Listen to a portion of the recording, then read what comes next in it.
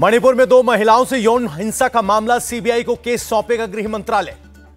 मणिपुर की दो महिलाओं से यौन हिंसा का वीडियो बनाने वाला शख्स गिरफ़्तार, पुलिस ने मोबाइल भी किया जब्त। सुप्रीम कोर्ट में केंद्र दाखिल करेगा हलफनामा, मणिपुर से बाहर वायरल वीडियो की सुनवाई की अपील। ज्ञानवापी सर्वे पर फ़िलहाल रोक रहेगी, तीन अगस्त को आएगा इलाहाबाद हाईकोर्ट का फैसला। सुप्रीम कोर्ट से केंद्र सरकार को राहत, ईडी डायरेक्टर एस के मिश्रा का कार्यकाल 15 सितंबर तक बढ़ा। कार्यकाल बढ़ने पर एसजी ने एफएटीएफ के भारत दौरे की दी दलील। जज बी आर गवई ने पूछा, क्या पूरा विभाग अयोग्य लोगों से भरा है? राजस्थान के सीकर से पीएम मोदी का ज़बरदस्त अटैक, कांग्रेस के लूट की दुकान सजाई, देश की सबसे दिशाहीन पार्टी कांग्रेस। पीएम मोदी बोले, लूट की दुकान का ताज़ा प्रोडक्ट लाल डायरी, जब इनके पन्ने खुलेंगे तो अच्छे अच्छे निपट जाएँगे। पीएम मोदी ने कहा, नाम बदलने से कुछ नहीं छिपेगे पाप। इंडिया का जवाब में क्विट इंडिया का दिया नारा। कांग्रेस की गारंटी पर भी बरसे पीएम, बीजेपी ने दिया मुफ़्त राशन, मुफ़्त कोरोना वैक्सीन और पाँच लाख तक का इलाज।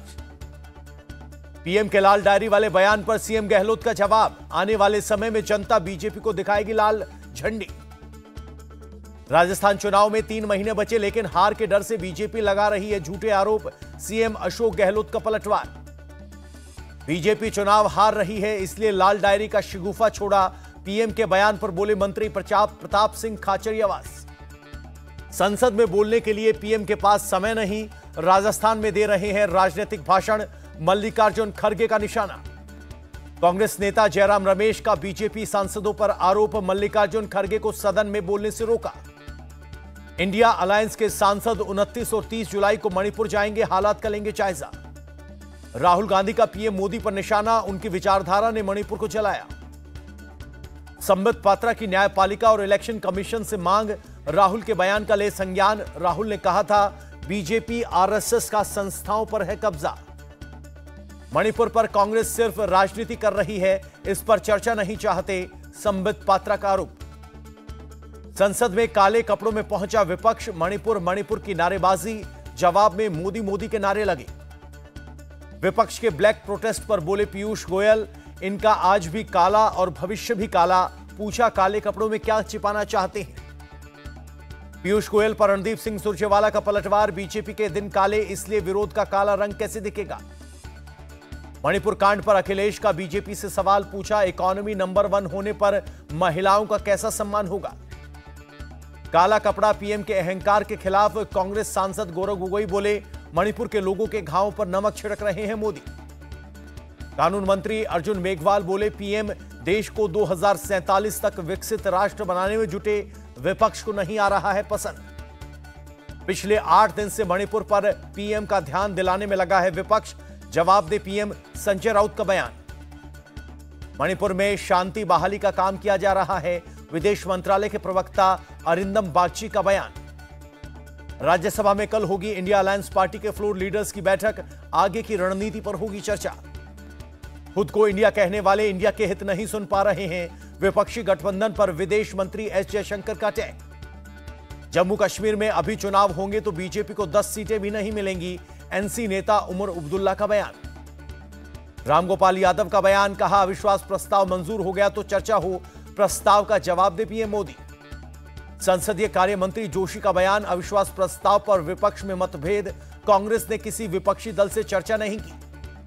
कांग्रेस सांसद नासिर हुसैन का आरोप, मणिपुर पर जवाब से भाग रही है सरकार, लेकिन सच को सामने लाकर रहेगा विपक्ष। राज्यसभा में सिनोमेटोग्राफ संशोधन बिल पास, अब पायरेसी करने पर तीन साल की होगी जेल की सजा। चार अगस्त तक चलेगा महाराष्ट्र विधानमंडल का मानसून सत्र, उनतीस जुलाई से एक अगस्त तक रहेगी छुट्टी।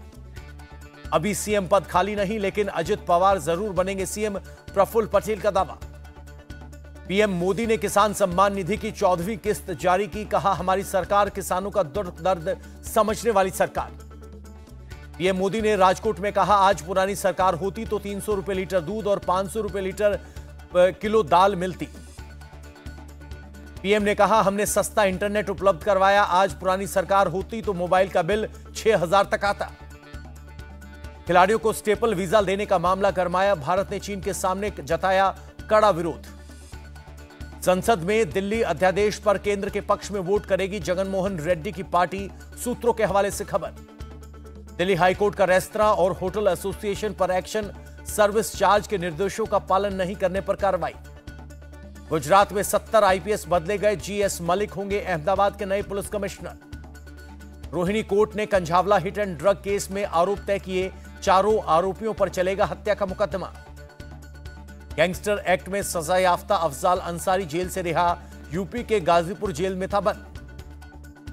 कटिहार पुलिस फायरिंग में मारे गए सोनू के परिजनों ने मांगा इंसाफ, कहा पुलिस ने एनकाउंटर की तरह की हत्या। कटिहार में प्रदर्शनकारियों पर पुलिस ने की थी फायरिंग, खुर्शीद और सोनू नाम के शख्स की मौत, एक घायल। कटिहार फायरिंग पर बोले एसपी जितेंद्र कुमार पुलिस ने उग्र भीड़ पर बचाव में चलाई गोली। बीजेपी नेता सुशील मोदी की मांग, कटिहार फायरिंग मामले की होनी चाहिए जाँच, पीड़ितों को मिले मुआवजा। बिहार के मुजफ्फरपुर में भारी बवाल, छात्र की हत्या के बाद प्रदर्शन कर रहे लोगों पर लाठीचार्ज, अपराधियों ने मारी थी गोली।